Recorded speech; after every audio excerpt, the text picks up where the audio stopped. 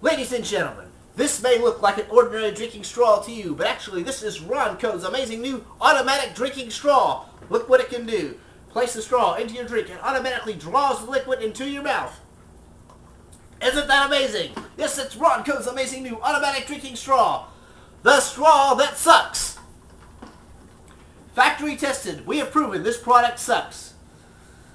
Just ask the Reverend Sun Myung Moon. We are the Unification Church. Use this straw all the time because it sucks. Yes, that's right. And if the Moonies use it, you know it sucks. Because for years they suckered the Internal Revenue Service. And if you order now, you will receive a free copy of our new booklet, 700 Ways to Use a Drinking Straw as a Tax Shelter.